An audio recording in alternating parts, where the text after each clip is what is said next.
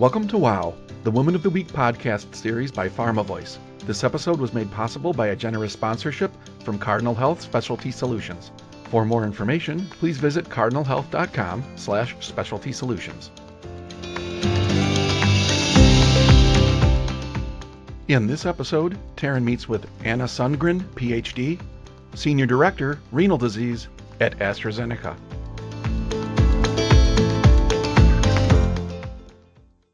Anna, welcome to the PharmaVoice WOW podcast program. Thank you so much for having me, Taryn. Oh, it's our pleasure. Anna, can you please provide some context around uh, chronic kidney disease? I know that this is a passion for you. I also recognize that there's been little innovation in treatment advances in more than 30 years, but the prevalence is still increasing. And then we'll move into how this plays into your role as Senior Director of Renal Disease at AstraZeneca. Absolutely. Like you said, the innovation in this area has been bleak over the past 30 years. And um, to really give some flavor to the numbers, I think, Taryn, uh, it's important to think about the growth of, of deaths in this area. And it actually has doubled since 1990. And the reason for why this happens is because when the kidney function declines and the kidney gets less and less capacity to filter urine, um, we get complications uh, from that when the body is reacting to a poor kidney function, and that leads to cardiovascular death. And essentially, people succumb to this before they get transplants. So, uh, as the amount of, of, of, patients with chronic kidney diseases are increasing, then of course we see more people uh, succumbing to, to this horrible disease, which is really quite insidious and hard to know that you have, in fact. So innovation is very important. So with the new scientific understanding we have in the area, we, we have the ability really to address it now uh, in ways that we probably didn't have 30 years ago. And so uh, for me, it's a very important area of research. Excellent. So talk to me about what your role is at AstraZeneca as a senior director for that renal disease business unit. Yes, absolutely. I'd be delighted to. So um, I have kind of two hats, if you will, in the company. I work with the renal strategy, and I started that about five years ago when there was fewer than uh, five or ten people caring about renal disease in the company. And so since then, I've sort of worked with building a strategic way forward for AstraZeneca in renal disease. Uh, but I also have uh, the role of, of a global development leader in the company where I have the uh, honor, if you will, to uh, be involved in the research and development. So really driving through large global teams uh, the delivery of new data and trial data for registration and reimbursement so that the new drugs that we de- develop in chronic kidney disease actually reaches patients across the world. So those are the two roles that I have. And of course, both of them are very, very tied to chronic kidney disease. I understand that you have a very personal story regarding chronic kidney disease. Would you mind sharing that with our listeners? Uh, not at all, not at all. In the beginning, when I started talking about it, it, it it really moved me and was hard to talk about. But now it's almost yeah uh, nine years ago. So my mom died in 2010, uh, and I've always been very interested in research and development. But it wasn't until my mom passed away uh, when she was on dialysis that I really found my purpose, I think, and, and really was able to channel all of my passion into research and development into chronic kidney disease.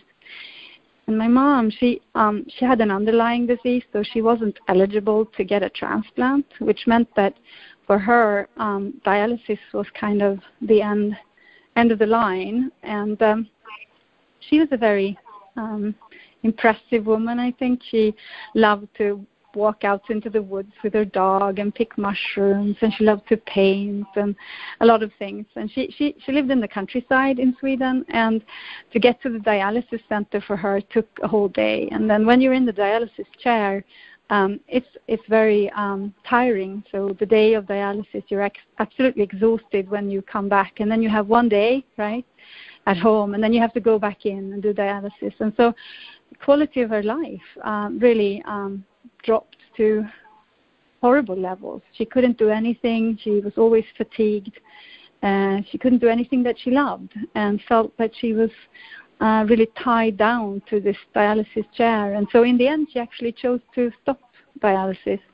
And what that means is that when you don't, when you can't clean your blood and your kidneys are not functioning, um, you go into a coma and you pass away. So she, uh, she did that in 2010, and I was really upset by she had the fact that she had decided to to leave us.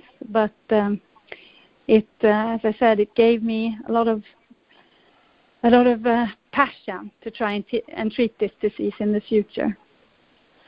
Well, thank you for sharing that. That is devastating, and I'm sorry for your loss.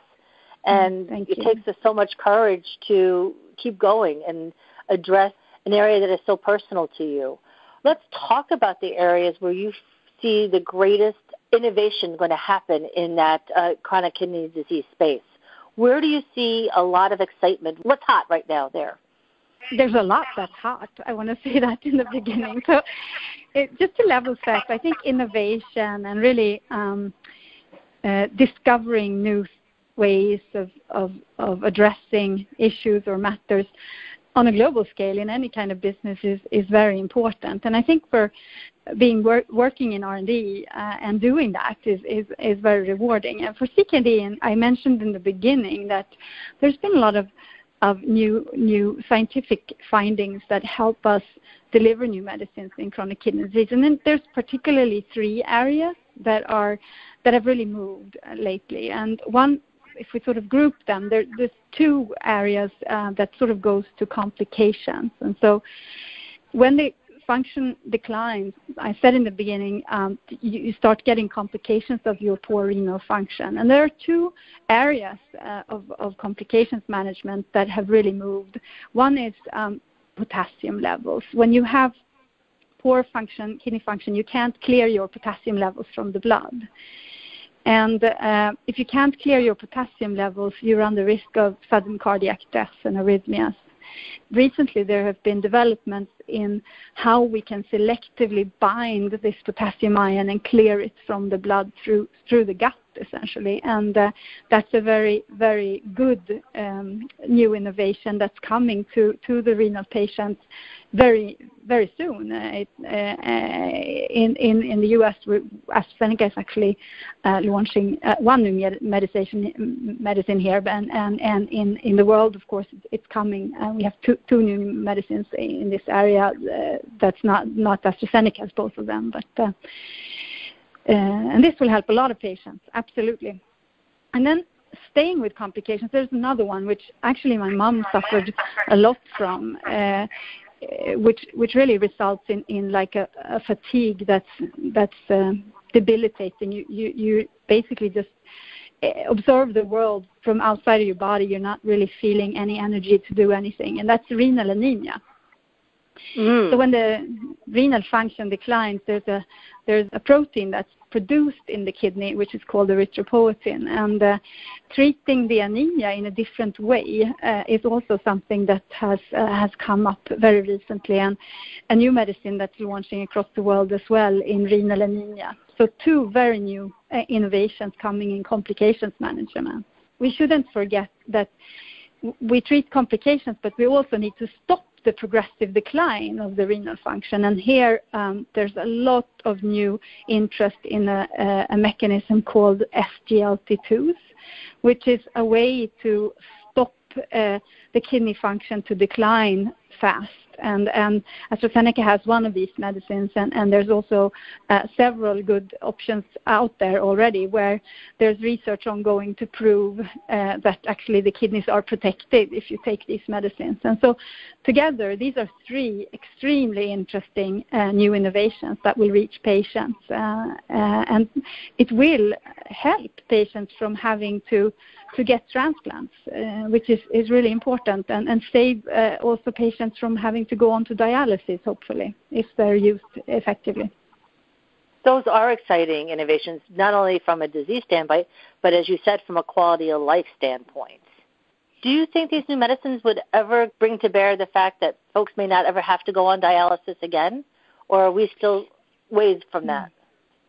No, I think I think our vision, if you will, for the longer term is is to really uh, be able to diagnose chronic kidney disease early, and if we treat it effectively with our new medicines that are coming into the renal space, uh, effectively stop patients from from having to go on to dialysis and and essentially uh, succumb to something else, if you will. The CKD will never really be the reason for why they pass away and they would ha- never have to go on to, to dialysis, hopefully, or need a transplant. Well, I wish you continued success. This is such an important therapeutic area, and it just it means so much to so many people out there. Yeah, so, I completely agree with you. I noted on your bio you have been at AstraZeneca for more than 18 years. That's a long run at one company. I'd yeah. love to know what has kept you at AZ for all these years. Yeah, I wonder about that myself sometimes. But um, somebody asking it like you did, Taryn, I, I started reflecting on it, and and of course, you know what you do every day. Um, if you always do the same thing, you start knowing it really, really well, and of course, then you want to move on and do something else. Um, but um, AstraZeneca has always been a company that allows personal growth and continuous learning, and with that, then you acquire skills that allows you to move in the organization. And uh, if you do that and you get a new job, uh, you know, it feels like you're changing company almost. So for me, I've been working on very many different continents for AstraZeneca in very many different roles. And so uh, 18, it doesn't feel like 18 years. I can't even believe it myself sometimes. Yeah it's funny, right? When you look up and go, "Ooh, that's 18 years already." Um, Indeed. Um, let's talk about your international experience. You've had a number of global roles, and so how does that, you know, world perspective inform your vision, your strategic decision making, and your leadership style? I must say I've really enjoyed the international uh, work that I've done, and it's really opened me up for that heterogeneity and um, uh, different perspectives, uh, which often actually stems from coming from a different culture, um, really helps us uh, move things along in a more sensible way.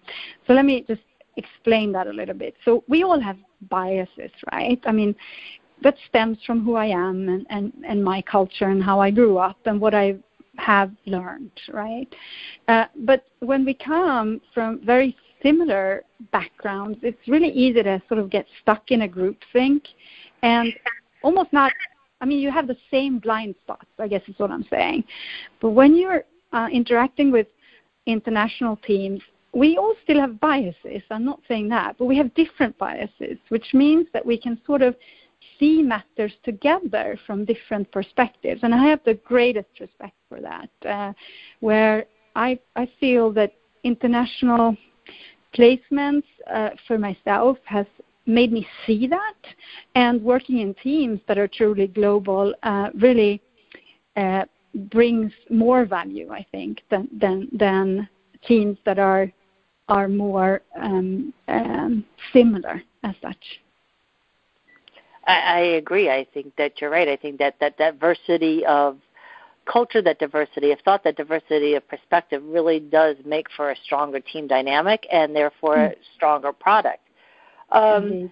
But let's face it, managing global teams requires quite a bit of balance. Do you have any tips or techniques that you've learned along the way that you have found to be really helpful in managing across different time zones, different cultures, Hmm. Yeah, you're right, Taryn. I mean, I think it does have sort of a an upside and a downside. And the downside always when you work in global teams is that, of course, you're not in the same place. And uh, effective teams do do work really well when they're in the same room together. And so, I think if you'll allow me to go a little bit tactical first, and then um, we can talk a little bit more about uh, the the the the the biases uh, later on. But I think tactically, you know, you have to um, allow for uh, the, the meeting technology being not always optimal and takes time to make sure that you have the right technology to, to meet effectively. And another thing is language barriers, right? We're all talking English, but I'm not a native speaker in English, and and the team members are, aren't either. So it's a matter of like making sure that you you speak in a in an easy way and that you have something written down, you know, as well as when you say it, so that people can return to it and really make sure that they've understood.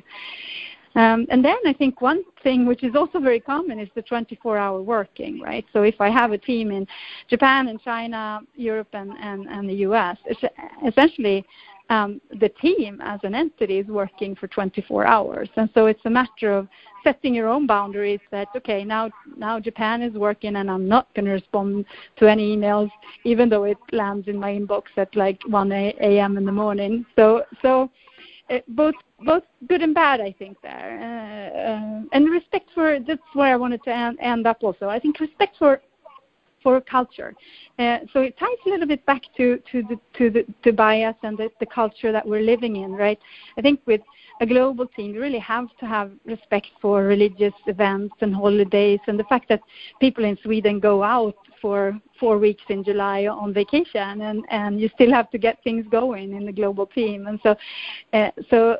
So there are things that you have to consider, but if you're willing to work around these things and really make sure that it works, the reward in terms of a heterogeneous global team is, is great, I think.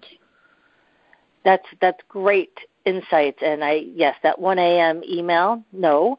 But I do like the four week vacation thing in Sweden. That sounds awesome. Again, along a similar vein, you know, you are sitting in an executive level role. What lessons have you learned along the way that might benefit other women who are looking to ascend uh, to that level? Yes, that's a really interesting question, I think, uh, Taryn. And uh, when I was younger in the organization, I think I, I tried to uh, sort of behave in the way that I thought was needed. Um, maybe being more uh, agentic uh, leadership style and male in my way of working, if you will. But as I've grown older and become more sure of myself. I think I've I've I've, I've um, realized that it's really uh, more of a transformational leader style that's important, and especially in innovative businesses. And in that, you know, a female leadership style is really really valuable. So I've become much more myself. I'm trying to be really authentic and and really bringing what I am to the team. And for instance, I'm a ballroom dancer, which is a very girly thing to be, right? But I'm very proud of it. You know, I, I like the team to to know that, and I share things, and I try to be who I am. You know, uh, and uh, lead my team with uh, with uh, engagement and positive uh, direction. That's awesome. What's your specialty in ballroom? I do the 10 dances, the 10 core dances, uh, but I love any kind of dancing. Do you dance yourself, Taryn? I do not, but I am so thrilled to hear. I, I've never met a ballroom dancer before, so fantastic. Yeah, um, it's really good exercise, actually. I've Very seen fun. them on TV. I, I yeah. think it's amazing the things that you all can do. So obviously, there's levels, different levels of success. There's personal success. There's professional success. And how do you define success for you? I think I'm internally motivated as a person, and I know I am, and, I'm feeling good about achieving something in general it's good. The smaller everyday things, feeling good about having uh, done something well, right? But if I take the bigger picture, it's more about leaving something that's greater than me behind, if you will. And especially since my mom passed away, I I've really for the past five years had a very strong uh, uh, success definition of, of, of, leaving treatments behind me, if you will, that, that can help uh, patients with CKD. And so for me, sort of that legacy will be will will be my success, uh, and that's why I'm so delighted to be able to work both on the strategy now as well as uh, two of our core brands in, within research and development. That's exciting. Are you a mentor to other women in the organization? I, I have been mentors off and on uh, uh, for for quite a while, and uh, my latest uh, uh, mentee, she um, she left the company a little while ago. She chose to do something else, but I I really enjoy that actually. It, talking with the with the I mean, having mentors and being a, a mentor is very, very interesting because you not only sort of look at your own um, uh, work life and and also your private life in a different um, perspective when you talk to somebody else, but you also can learn a lot from from your mentees. So so yeah, I, I really enjoy that. Uh, right now, I don't have a mentee within the company, but uh, I take every opportunity to to do that whenever I can. AstraZeneca, if you're listening, she's available. Going back, I know you talked about authenticity, and that's a, a place where you've gotten to be as a leader. Um, if you were to reflect back and think, you know, I wish I had known that then, is there mm. any piece of advice you would give to your younger self? That's a really good question. I normally answer, you know, when it comes to advice, I normally answer that, you know, I think people should look up from their everyday work and look around and listen more and take in the world. But to myself, I probably wouldn't give that advice because I've always really done that. So I think if it were to myself, I would probably say, be confident that y- you actually will bring value and, and start acting and speaking up now. Because when I was younger, I was more listening and learning other than uh, sort of contributing actively and, and directively, if you will. So I think that's the advice I would give myself. that's good advice. Mm-hmm. Um, now, finally, can you identify one wow moment that changed or enhanced the trajectory of your career? Yes. Um, so um, I have to really bring this back to um, uh, a, wo- a women's summit that I went to actually in 2016 in Gothenburg. And AstraZeneca has a very directed effort to to get more women in leadership positions, but also work with uh, with uh, uh, the gender balance. And so every year we have women's summits um, on our main site. And this year, in 2016, we had a keynote speaker called Agnes Wold. Um, and I don't know if you've heard of her. She's very Swedish in a sense, but uh, in 1997 she published a Nature paper about nepotism and sexism in, in peer review uh, and in Nature. It was a really amazing paper. And she came to us in 2016 and presented her theories on enrichment factors and bias. Uh, in terms of how we make decisions for promotion and and what that led to, what we all the, all the small decisions we do as a leader when it comes to uh, hiring and firing and promotion, etc., uh, and what it led to on a consolidated level. And it really opened my eyes to how important it is to be uh, thinking about bias in, in these situations when you're when you're a, a female manager. I, I couldn't agree with you more. There's study after study that show that women just don't put themselves forward as much, and that mm. there is a bias against women in promotions. Um, yes. So I think you are hit right on a, a key point, especially so current today, right? We are living in an age of everybody's looking at gender diversity and gender equality, and we're not there yet, which is amazing. No, that's and you know when you think about me being Swedish originally, uh, you know when you think about the Swedish society, the, the, you, when you think about Sweden, it, equality is the first or one of the first few things that people think about. But Agnes's uh, paper, even though it's old, it was about Sweden, and Sweden is still struggling uh, with these types of things, and and uh, it's all in our own heads. So if we want to make something good about this. We, we have to be aware of the act, small actions we do every day and what the impact it has on other women. Absolutely, and other men. Yeah, right? absolutely. Yeah, yeah, for sure. Because sometimes we, you know, the men get vilified, but in fact, it's because they don't even realize what they're doing.